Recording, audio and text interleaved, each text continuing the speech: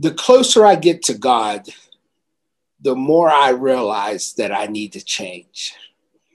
And the more I realize what it is that Jesus Christ actually did for me on the cross. And if he can forgive me for my sins and what I have done, then who am I not to walk in love and forgiveness of others? Here's my challenge to you today it's just to be better. If we're going to make the world better, it starts with us. And as we continue to grow, as we continue to do the things that the Lord instructs, then we will see this place be a better place.